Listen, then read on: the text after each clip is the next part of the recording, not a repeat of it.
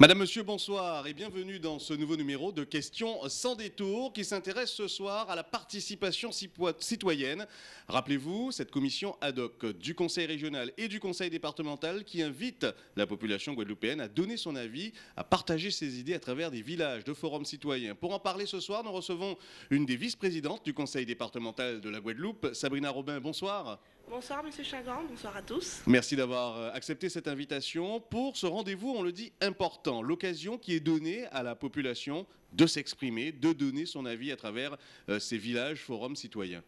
Oui, tout à fait. Alors, comme vous le savez, au niveau du conseil départemental et du conseil régional, nous avons récemment installé la commission ad hoc.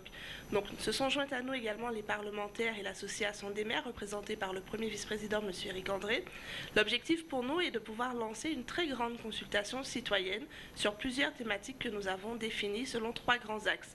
Donc, cette consultation citoyenne a pu commencer dès ce samedi, où nous avons eu un premier point au niveau de l'esplanade du Mémorial Act. Et ça va se poursuivre. Alors, va tout de suite donner les dates, les rendez-vous, puisque euh, la population guadeloupéenne est invitée à donner son avis. Dès ce samedi, ce sera à Petit Canal. Oui, parfaitement. L'objectif pour nous, c'est vraiment de pouvoir euh, nous déplacer à différents points euh, du territoire guadeloupéen afin de toucher le plus largement l'ensemble de la population. Donc après la zone de Pointe-à-Pitre, de Cap Excellence, je dirais, nous irons au niveau du Nord Grande Terre dès ce samedi, le 28 janvier. Nous serons sur le site de Duval à Petit Canal.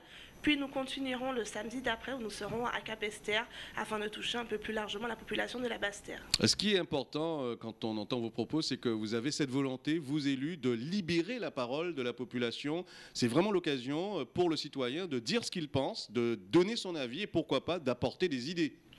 Clairement, si vous voulez, nous avons voulu être suffisamment exhaustifs sur les thématiques. Donc, comme je vous les ai dit, trois axes qui concernent à la fois le développement territorial, le développement économique, mais aussi l'épanouissement de l'homme.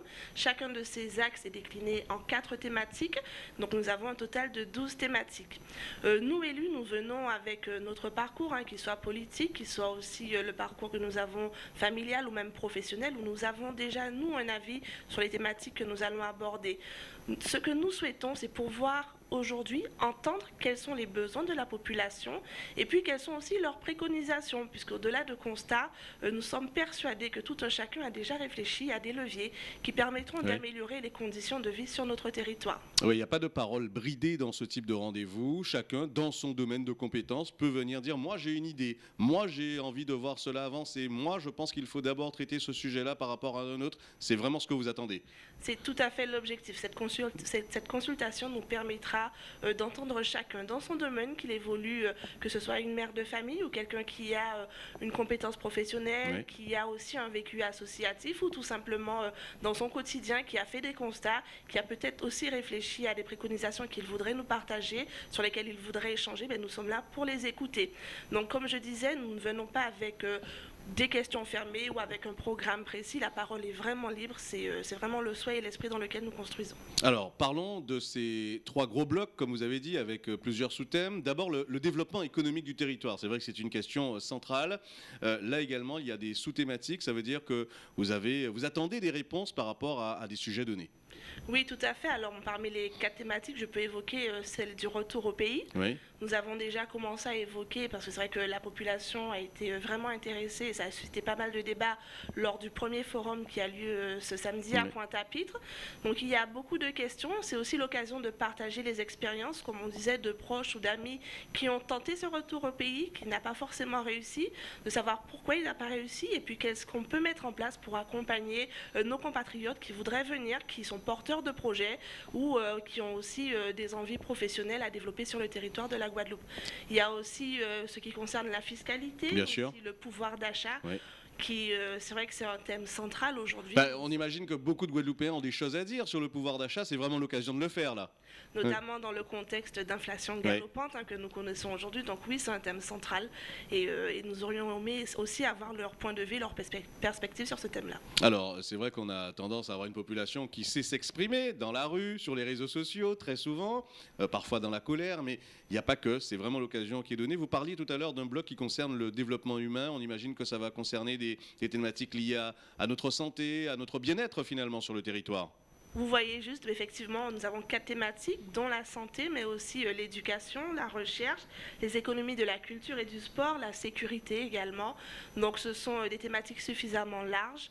Euh, la santé, nous le savons, hein, c'est aussi une priorité pour nos Guadeloupéens, où nous avons vraiment envie de pouvoir améliorer les conditions de prise en charge au niveau du territoire, l'éducation et la recherche. À ce titre, je suis moi-même membre de cette thématique et nous avons commencé en parallèle des forums citoyens à mener des auditions individuelles.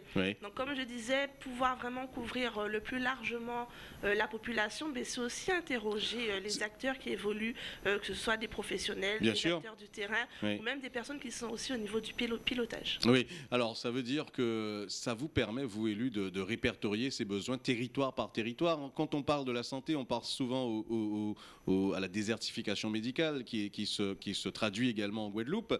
c'est l'occasion pour une pour monsieur et madame tout le monde de dire voilà, ma, ma difficulté par rapport à, l'offre de soins dont j'ai besoin, ben, on ne répond pas à cela à mon territoire. faut vraiment, vous attendez de ça des gens, hein, qu'ils disent vraiment, qu'ils racontent leur quotidien, qu'ils donnent leur contribution.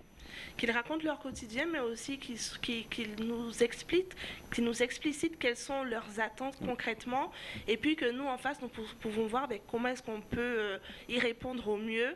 Une des pistes, ça peut être aussi la mutualisation. Oui, alors il y a également les questions de l'éducation, de la recherche, hein, toujours à travers le développement de l'humain, la culture, le sport, tout ça n'est pas oublié. Et puis il y a euh, également euh, ce bloc important qui est l'aménagement du territoire. Comment mieux vivre avec euh, son territoire, comment imaginer ce développement demain? Là aussi, les Guadeloupéens ont leur mot à dire et vous leur donnez l'occasion de le faire. Tout à fait. Alors, sur l'aménagement du territoire, nous avons quatre thématiques hein, qui parlent de l'aménagement maîtrisé et durable du territoire, mais aussi de tout ce qui est économie verte et bleue, des migrations. Et puis, à l'heure où nous voyons qu'aujourd'hui, nous avons tout à gagner à nous inscrire dans un contexte caribéen, mais nous voulons aussi évoquer euh, cette fameuse coopération, l'insertion et l'intégration régionale de notre territoire. On a beaucoup de jeunes qui sont nos forces vives, qui ont beaucoup d'idées, qui ne savent peut-être pas comment les concrétiser. C'est là aussi l'occasion, quand on parle d'économie verte et bleue, ils ont des nouveaux métiers, ils ont des envies de développer des choses, c'est peut-être l'occasion à travers ce village. Tout à fait. S'ils sont porteurs de projets, même si le projet est encore à l'état euh, embryonnaire, à l'état de réflexion, mais qu'ils n'hésitent pas à venir, nous en face, nous essaierons de voir comment est-ce que nous pouvons les accompagner et comment est-ce que dans le cadre de, des grandes réflexions qui sont menées, nous pouvons aussi prendre en compte leurs apports afin d'en faire une synthèse et de faire remonter ces préconisations. Et à pas parole en lait, j'ai envie de dire, tout ce que vous allez euh, euh, collecter sur le terrain, tous ces avis de la population guadeloupéenne, ça va servir à quelque chose par la suite. Mais écoutez, vous savez qu'actuellement, euh, notamment dans le cadre de la commission ad hoc, nous sommes en train de lancer euh, des réflexions, que ce soit sur l'évolution institutionnelle ou statutaire, mais aussi en préparation euh, du congrès des élus qui aura lieu en avril 2023. Donc bien entendu, nous ne faisons pas les choses pour rien. Nous prendrons en compte, nous prendrons le temps non seulement d'entendre, mais surtout d'écouter la parole du citoyen, de la valoriser et de synthétiser afin vraiment de la rendre concrète. Oui, parce que ce qu'il faut expliquer peut-être aux téléspectateurs, c'est que vous avez volontairement voulu donner la parole aux citoyens lambda avant pour qu'ils s'expriment, parce que vous aurez aussi des échanges avec des experts, avec des associations, avec des sachants euh, dans leur domaine respectif. Oui, alors je ne l'ai peut-être pas encore dit, mais c'est vrai qu'au niveau de ces groupes de travail, euh, nous sommes accompagnés d'experts justement pour chaque thématique. Nous sommes également accompagnés d'une assistance à la maîtrise d'ouvrage qui, euh, qui s'attache à pouvoir collecter l'ensemble des informations mmh. qui vont euh, être dites, qui vont être échangées, et afin de réaliser cette synthèse. Donc ce sont des éléments, des indicateurs sur lesquels, bien entendu, nous nous appuierons pour définir les objectifs et les orientations prochaines. Alors le rendez-vous, on l'a dit, le premier, s'est passé sur l'esplanade du Mémorial Act. Deux autres dates à retenir. Venez donner votre avis effectivement sur ce village forum citoyen. Le prochain rendez-vous, c'est sur le site de Duval à Petit Canal. C'est bien ça, samedi, euh, 8 février à partir de 9h, hein, c'est ça en général 8h30, 9h, nous sommes là jusqu'à 13h30. Et puis euh, le samedi d'après également, pour ceux qui sont sur la Basse-Terre, le 4 février, nous serons à Petit Canal.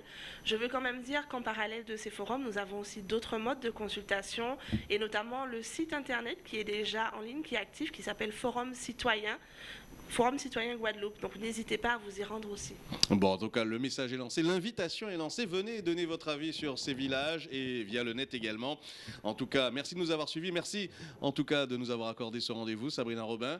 Et euh, sans doute à samedi euh, à Petit Canal. Oui, c'est moi qui vous remercie. Et puis je le répète vraiment que chaque Guadeloupéen se sente concerné par ces consultations. Nous vous attendons vraiment nombreux et ce sera avec plaisir que nous échangerons ce samedi 28 à Petit Canal. Merci à vous. C'est la fin de ce question sans détour. Merci de nous avoir suivis et bonne soirée avec la suite de nos programmes.